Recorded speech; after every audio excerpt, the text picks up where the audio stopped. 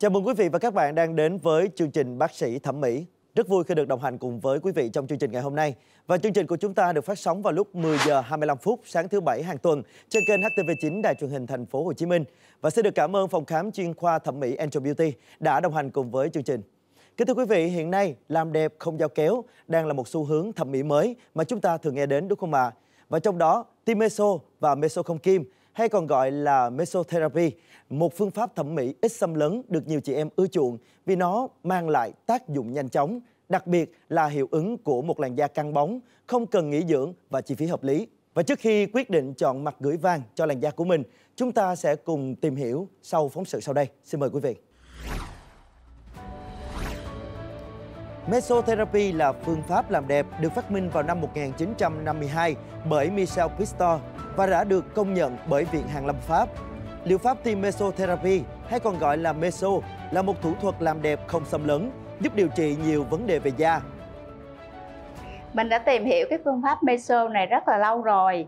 Có nhiều bạn bè mình học tim ở spa kêu mình tới tim trải nghiệm nhưng mà mình không có dám đi.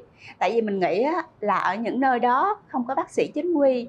Rồi á, mình là người kỹ tính nữa, mình đâu có biết được là họ tiêm cho mình những cái sản phẩm nó được xuất xứ từ đâu, nó có nguồn gốc như thế nào. Cho tới khi á, mình tìm được nơi có bác sĩ uy tín. Lúc mà mình đến, cho mình xem sản phẩm một cách minh bạch luôn dạ cho mình biết cái phác đồ điều trị kết hợp với việc tiêm miso, cái tinh chất chống lão hóa để giúp mình có một cái làn da tươi tắn, trẻ.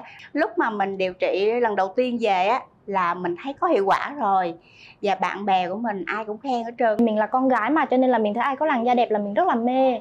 Trước đây thì da mình rất là khô, bong tróc sần sùi, thi thoảng còn bị mụn ẩn nữa, khiến cho mình cảm thấy rất là tự ti. Mình cũng tìm một nơi mà bác sĩ có thể tư vấn trực tiếp cho mình, có các bước soi da chăm sóc da vệ sinh da kỹ càng theo chuẩn quy trình y khoa. Và bác sĩ cũng là người trực tiếp thực hiện cho mình khiến cho mình cảm thấy nhẹ nhàng và yên tâm hơn. Hiện tại mình cảm thấy rất ưng ý với làn da của mình nó đã được cải thiện hơn trước rất là nhiều. Công nghệ Mesotherapy được các dưỡng chất cần thiết bằng phương pháp tiêm đa điểm, điểm nhỏ vào lớp trung bì nhằm khắc phục các vấn đề về viêm nhiễm và tuần hoàn kém gây tổn thương da. Từ đó, cải thiện sạm nám da, làm mờ thâm và căng da. Trong liệu pháp này, các chuyên gia sẽ bơm một lượng nhỏ các dưỡng chất có chiết xuất từ thành phần tự nhiên, dược phẩm và các loại vitamin vào da nhằm ức chế sự hình thành các nguyên nhân gây mụn cùng hắc sắc tố gây nám da. Ngoài ra, công nghệ này còn kích thích quá trình sản sinh collagen, giúp da căng mịn và trắng sáng hơn. Trong những năm gần đây, kỹ thuật tiêm meso ngày càng phổ biến vì tính hiệu quả, an toàn và có thể áp dụng rộng rãi với nhiều chỉ định liên quan đến thẩm mỹ da. Ngoài những kiến thức chuyên môn và kỹ thuật tiêm phải đảm bảo quy trình chuẩn y khoa, không phải là điều dễ dàng. Với nhiều tác dụng của tiêm meso, các chuyên gia ví mesotherapy như một món ăn hấp dẫn dành cho da. Tuy nhiên, để biết rằng làn da của bạn có thực sự phù hợp với việc tiêm meso hay không và loại meso nào phù hợp vẫn đang là thắc mắc của đông đảo các chị em.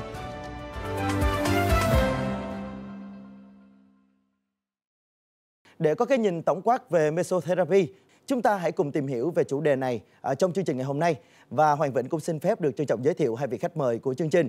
Đầu tiên, xin được giới thiệu bác sĩ chuyên khoa 1 tạo hình thẩm mỹ Nguyễn Trọng Hiếu và bác sĩ chuyên khoa da liễu Hồ Thị Ánh Nhật đến từ phòng khám chuyên khoa thẩm mỹ Angel Beauty. Và xin được cảm ơn hai vị khách mời đã dành thời gian tham dự chương trình ngày hôm nay ạ. À, bác sĩ Nhật thân mến, bác sĩ có thể cho biết rằng là những hợp chất làm đẹp hiện nay có trên thị trường uh, như là vitamin, collagen, HA thì nó sẽ tác động như thế nào đối với làn da? À, thực tế thì trên thị trường hiện nay á, là có rất là nhiều cái hoạt chất à, có thể tiêm meso với nhiều một cái mục đích khác nhau ví dụ như mình à, muốn tiêm về mục đích à, trẻ hóa đi căng bóng làn da thì các bạn có thể nghe đến như là hyaluronic acid đồng thời mình có thể pha HA chung với ờ, BRB để ờ, vừa trẻ hóa nè vừa là sửa chữa những cái tổn thương ở bên trong da. Từ đó nó sẽ nuôi da nó làm cho cái da mình nó trở nên khỏe hơn. Hoặc là mình cũng có thể mix nó với lại uh, vitamin C để cho nó làm cho cái làn da của mình nó trở nên uh, sáng hơn. Hoặc là uh, mình chỉ có thể dùng đơn thuần acid tranexamic acid uh, để mà uh, điều trị những cái sắc tố như là nám da chẳng hạn. Vậy thì cái hiệu quả mà mỗi lần tiêm mesotherapy thì nó sẽ kéo dài trong bao lâu vậy ạ? Thì um, cái hiệu quả tiêm meso á nó phụ thuộc vào cái sản phẩm và cơ địa khách hàng. Thì thường cái hiệu quả meso nó sẽ kéo dài được tầm 1 tháng tới 3 tháng.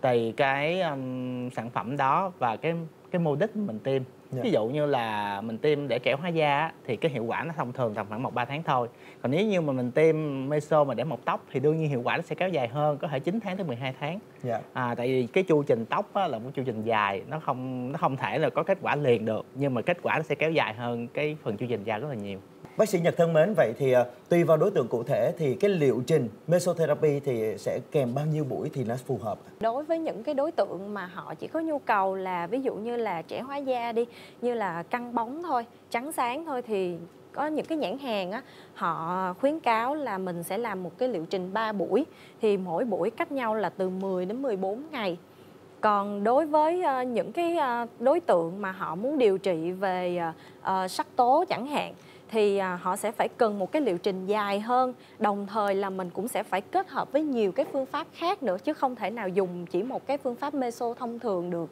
Còn à, đối với à, điều trị mọc tóc hoặc là thon gọn cơ thể thì cũng vậy. Ờ, đối với thon gọn cơ thể thì mình có thể ờ, một cái liệu trình là 3 buổi, mỗi buổi cách nhau là một tháng rồi sau đó mình sẽ được cái bác sĩ điều trị họ sẽ đánh giá lại cái làn da cũng như là cái cơ thể của mình sau cái liệu trình đó là đã đạt được cái hiệu quả như là cái khách hàng mong muốn hay chưa nếu chưa thì có cần thêm buổi nào hay không hoặc là có cần thêm kết hợp thêm bất kỳ một cái phương pháp nào khác hay không để để mà đạt được cái hiệu quả mà như khách hàng mong muốn Dạ vâng, xin được cảm ơn bác sĩ. À, và Hoàng Vĩnh được biết là dạo gần đây thì có rất nhiều cơ sở thẩm mỹ cũng như là các cá nhân nhận tiêm meso tại nhà cho khách hàng. Thì không biết là điều này có tiềm ẩn những nguy cơ gì nguy hiểm hay không ạ? thứ nhất á, là nó sẽ được thực hiện bởi những người không có chuyên môn cái thứ hai nữa là cái sản phẩm sẽ không rõ nguồn gốc và họ sẽ không có tuân thủ được cái việc bảo quản tốt vì meso nó sẽ có cái tiêu chuẩn bảo quản của nó Dạ. ví dụ như là cái sản phẩm đó phải bảo quản lạnh hoặc là khi mình lấy lạnh xong ra rồi mình sẽ không được bảo quản lạnh lần nữa thì nếu như mình không tuân thủ những quy trình đó thì thứ nhất là đầu tiên là tác dụng sẽ bị mất đi cái thứ hai nữa nó có thể sinh ra những cái độc tố và nó có thể gây hại cho cái làn da của mình nên bác sĩ khuyến cáo là không nên làm như vậy Vậy thì à, những biến chứng không mong muốn xảy ra trong quá trình làm đẹp bằng phương pháp meso là như thế nào? Thì à, mong bác sĩ có thể chia sẻ kỹ hơn. Ừ. thì à, phương pháp meso là một phương pháp ít biến chứng và có xảy ra tai biến nhất trong cái thủ thuật thẩm mỹ nội khoa tại vì thật sự là mình chỉ tiêm một cái lượng rất ít và những cái chất mà mình được tiêm á, thì thường nó đã được sản xuất theo cái tiêu chuẩn là cho tiêm chất nên là những cái dị ứng nguyên của nó là người ta đã làm ở cái mức thấp nhất có thể rồi. À, tuy nhiên thì nó sẽ có những cái biến chứng sau. À, nếu như mình tiêm không đúng kỹ thuật á, thì nó có thể bị nhiễm trùng. Dạ. nếu mình không định định vị đúng cái phần meso đúng cái lớp mà mình cần can thiệp á, thì nó có thể xuất hiện u cục nhất là những sản phẩm chứa HA nếu như mình tiêm quá nông trên cái lớp da của mình á, mà không phải lớp trung bì chẳng hạn thì nó có thể tạo u cục. Và cái u cục đó đó à, thông thường nó sẽ tự hết nhưng sẽ có một số trường hợp này nó tồn tại rất là lâu. Và những u cục gọi là đó có khả năng sẽ tạo thành cái sẹo lợm tại chỗ nha. Và cái điều kế tiếp nữa là những cái sản phẩm mà mình tiêm mà nếu đã không rõ nguồn gốc á, thì nó có thể làm rối loạn cái sắc tố da và nó sẽ để lại những cái di chứng lâu dài trên làn da của mình. Còn phương pháp meso không kim là phương pháp như thế nào vậy ạ? À, theo Hoàng vẫn được biết là meso exosome à, cũng là một cái phương pháp cũng rất là phổ biến hiện nay. Thì rất mong là bác sĩ Hiếu có thể chia sẻ thêm về cái phương pháp này. cái meso thông kim thì thật ra nó không đúng cái từ đó đúng một phần thôi thật sự nó vẫn có kim Dạ. nhưng cái kim đó nó không có tiếp xúc với da của mình mà nó có một cây súng và cây kim đó nó bắn một cái luồng tia meso áp lực lớn xâm nhập vô da mình mà không có chạm tới da thì về cái độ hiệu quả thì nó cũng sẽ tương tự như phương pháp là meso có kim nhưng cái về an toàn là sẽ nhiều hơn và nó sẽ ít sưng bầm hơn tốc độ làm nó sẽ nhanh hơn À, còn cái hoạt chất estrogen là một hoạt chất mà gần đây người ta ứng dụng vào cái thẩm mỹ đây là một hoạt chất mà nó có tác động tới phần tế bào của mình Dạ. nó giúp cho cái chu trình tế bào nó sẽ được thay đổi nhanh hơn và nó giúp cho cái làn da mình nó đạt được cái độ trẻ hóa tốt hơn những cái sản phẩm khác Dạ vâng, xin được cảm ơn bác sĩ ờ, Hiếu rất là nhiều ạ. Còn bây giờ thì Hoàng Vĩnh xin phép được mời quý vị chúng ta sẽ cùng đến với chuyên mục Lời khuyên bác sĩ.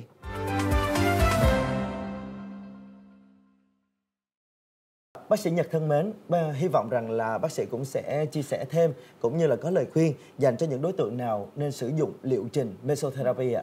cái phương pháp mesotherapy á, nó không có kén chọn nên là hầu như những ai mà có nhu cầu về làm đẹp hoặc là về một cái lý do nào đó ví dụ giống như lúc nãy mình có chia sẻ uh, ví dụ như làn da họ bị xỉn màu chẳng hạn nè hoặc là da của họ chưa có đủ độ ẩm Dạ. họ cần một cái độ căng bóng độ tươi trẻ hoặc là những người mà có vấn đề liên quan đến tóc nè hoặc là cái cơ thể họ chưa được thon gọn họ muốn tan mỡ chẳng hạn thì hầu như ai cũng có thể sử dụng được cái phương pháp này hết và chỉ là tùy theo cái mục đích của họ mong muốn là gì Vậy thì phương pháp này có giới hạn độ tuổi hay không ạ? Thật ra thì nếu mà nói về giới hạn độ tuổi á, thì cũng không hẳn Nhưng mà mình vẫn nên khuyến cáo là những người mà từ 20 tuổi trở lên thì mình nên, mới nên sử dụng những cái phương pháp này Còn đối với những cái bạn trẻ quá thì không nên Dạ vâng, xin được cảm ơn bác sĩ Nhật. À, bác sĩ Hiếu thân mến, hy vọng là bác sĩ cũng sẽ à, có những lời khuyên về việc chăm sóc da sau khi mà chúng ta sử dụng phương pháp mesotherapy ạ. Ừ, thì um, nó giống như bất kỳ một cái thủ thuật nào thì sau khi làm xong á, thì mình điều quan trọng nhất là mình phải giữ sạch cái vùng đã tiêm. Dạ. tại vì khi mình sử dụng phương pháp mesotherapy là mình đã tác động tới da rất là nhiều lỗ kim. Thì cái da mình nó phải thật sự thô thón và cái trong cái ngày đầu tiên á, là hầu như là bác sĩ sẽ khuyến cáo là mình không sử dụng mỹ phẩm không sử dụng kem chống nắng thì sau cái ngày thứ hai trở đi á, thì mình có thể quay lại cái thói quen chăm sóc da bình thường. À, chỉ là mình sẽ quan sát da mình nhiều hơn. Nếu nó có xuất hiện những cái vết bầm hay vết đỏ thì mình có thể là sử dụng thêm cái thuốc um, tăng máu bầm và thuốc giảm đau. Còn nếu như nó xảy ra những cái hiện tượng gì đó lạ trên da ví dụ là mưng mủ hay sưng nóng đỏ đau nhiều chẳng hạn thì mình quay nên quay lại phòng khám để bác sĩ kiểm tra. Nếu mà có vấn đề gì thì bác sĩ sẽ giải quyết sớm cho mình. Dạ vâng ạ, xin được cảm ơn những lời chia sẻ, những lời khuyên đến từ hai vị bác sĩ khách mời tham gia chương trình ngày hôm nay. Và hy vọng là quý vị khán giả cũng đã có được cho mình ờ, một cái liệu trình phù hợp khi mà chúng ta sử dụng mesotherapy để có được làn da chắc khỏe nha. Chương trình bác sĩ thẩm mỹ đến đây sẽ được phép khép lại tại đây. Chương trình được tài trợ bởi phòng khám chuyên khoa thẩm mỹ Angel Beauty, được phát sóng vào lúc 10 giờ 25 phút sáng thứ bảy hàng tuần trên kênh HTV9 Đài truyền hình Thành phố Hồ Chí Minh. Xin kính chào tạm biệt và hẹn gặp lại trong những số phát sóng lần sau.